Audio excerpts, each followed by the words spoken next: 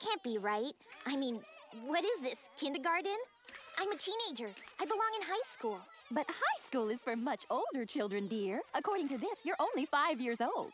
Yes, I was made five years ago, but I was designed as a teenager.